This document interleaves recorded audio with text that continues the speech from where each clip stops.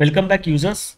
In one of our earlier videos, we had debuted the Spiral Linux Linux distro on our uh, channel and we had checked out the GNOME desktop of Spiral Linux.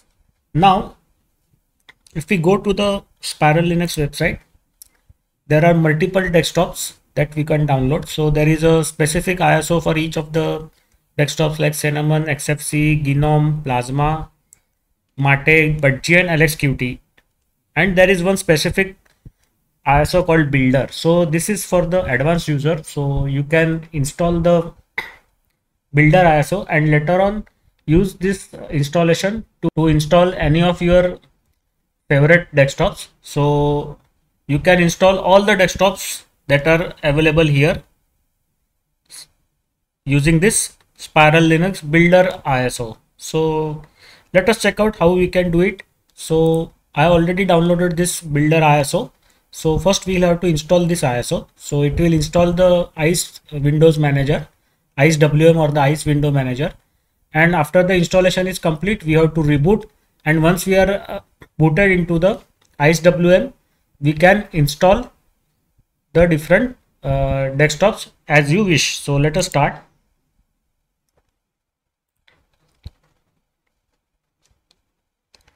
so use the debian testing or you can use debian 10 also. 10 will be better.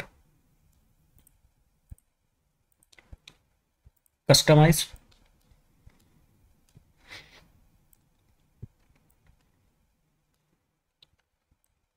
So now we have to create the virtual machine.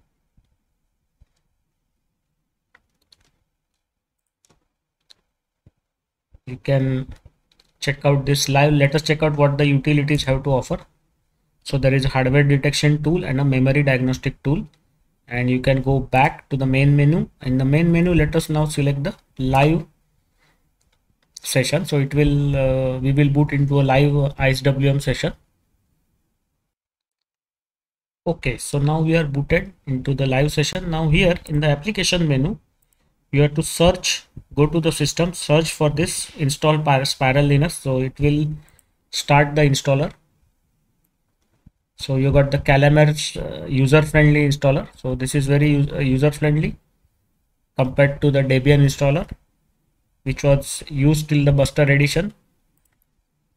Now select the local. Local is not properly selected. Sometimes it gets selected. Sometimes uh, you will have to reselect the correct local go ahead. Now uh, for me I have to select the Indian keyboard model and go with the English India with rupee.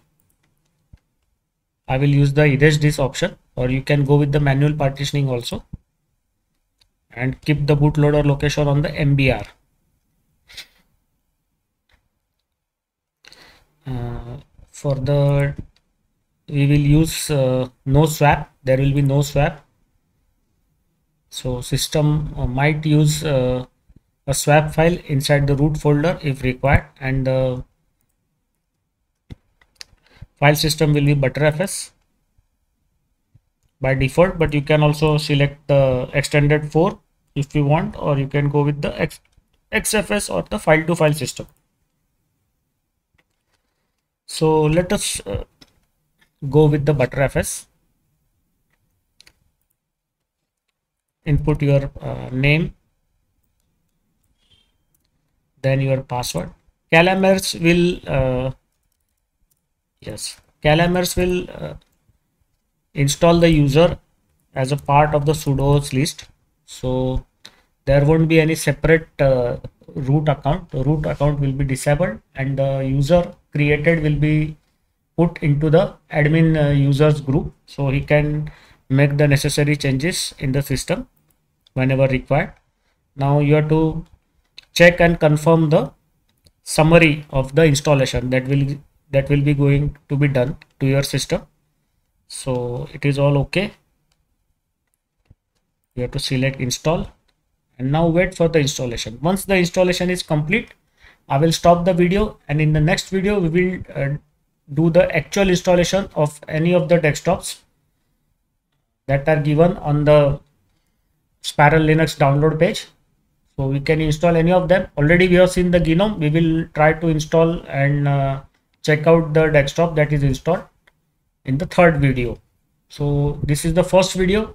There will be a second video where we'll do the actual installation of the desktop. And in the third video we will do the review of the desktop that has been installed. So this way you will get a good idea of the expert install method of the spiral linux and how to use the uh, Spiral Linux Builder ISO. So this Builder ISO is only for the expert users who know the system, who knows uh, the different package dependencies, who know what they are doing.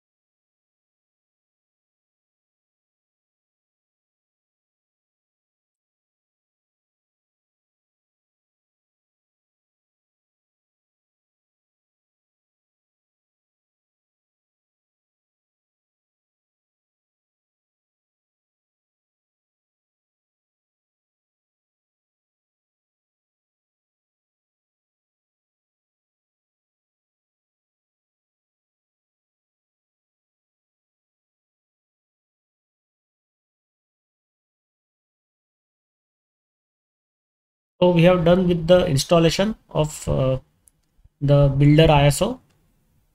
So it will install the IceWM session, uh, Windows Manager and the base uh, Linux system. And we ha have to build on this base system with the IceWM Windows Manager and install any of the desktop of, of our choice using either you can use the terminal or you can use the Synaptic Package Manager. So in the next video, I will show you how to use the Synaptic Package Manager to choose the desktop of your choice and then install it. so i will stop the video here. See you in the next video. Bye bye